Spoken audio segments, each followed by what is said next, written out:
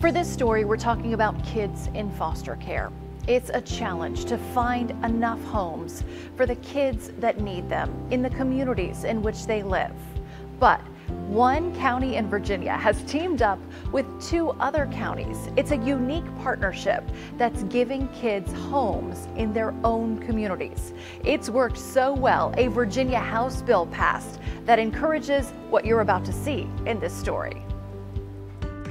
We are um, constantly thinking outside the box on how we can give children the best possible outcome, and that's to be raised in a family. Heather Linkus is a supervisor at Montgomery County Department of Social Services. They've been able to keep the children in the county or close by thanks to a partnership with Giles County and Floyd County. If a child needs a home, they can go to any of the three counties. Linkus says it's been a success.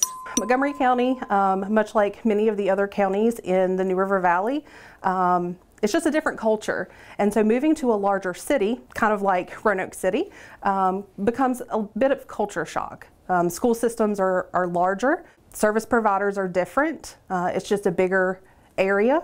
Um, maybe not as many mountains. It's everything. I mean, honestly, just to have families in three different counties that are so close, it makes it so much easier for all of us. Melissa Morgan works with the families.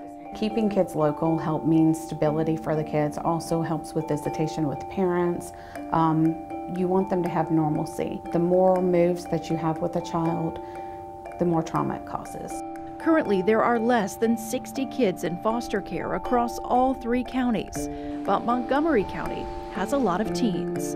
So offering them the opportunity to have homes within their own community where they've already had many, many years of school with their peers that they consider their best friends or they're involved in sports teams through their schools, we want to allow them to continue to do those things. But to do that, they need foster parents.